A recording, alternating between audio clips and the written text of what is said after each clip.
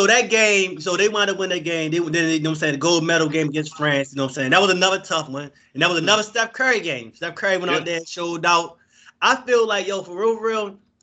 Even though Steph Curry won the NBA Finals, yo, I think this some of one of the biggest accomplishments, yo, because they, they like even though he won them titles, he never had that Steph Curry game in the finals. Yeah, no. They always say he never should, even though even though he cooked, but he never had that Steph Curry game. Right. They don't win the gold medal without having those Steph Curry game. They don't beat Serbia, and they probably don't even beat France. Yeah. He is They some don't cut. He is cut France, so. You figure I watched Wemby. Wemby went off. Wemby had twenty. He he he, he had twenty six. He fucked me because I I bet I bet loud under twenty five. These dudes missed right. Didn't get the rebound. USA didn't get the rebound, so they get the they so they get another possession. This motherfucker hit a three point with like thirty seconds left. Go over, yo. I bet LeBron. I let, yo, I bet LeBron under. Whatever it was like, it was like 17 and a half Mhm. live. I bet that shit under. Cause like he, had to score like five more points. Like Bron ain't scoring five more points. He ain't gonna- and then then it, when I bet Wemby, Wemby had 20, Mm. and I bet 25 and a half. He he got a you know he got a layup. there. He got a put back. You probably saw it. That shit like was goaltend. I don't know if it was goaltend or not, but he got one of them weak ass over the rim, put it in right. But you know, in uh, in the national ball, you can do that.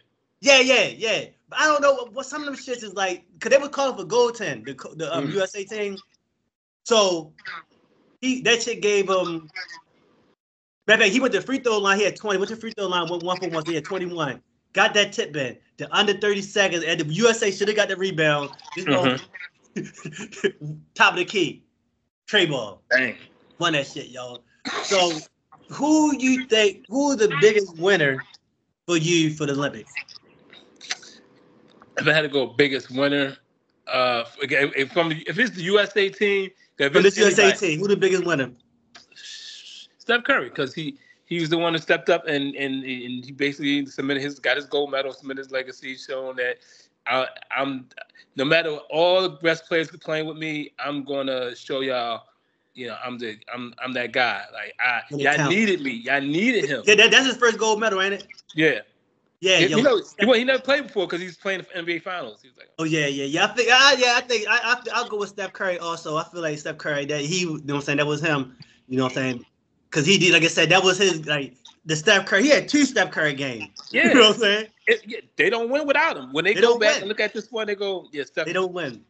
Steph, Steph, Steph shooting. All right. Steph crazy. Biggest, biggest loser.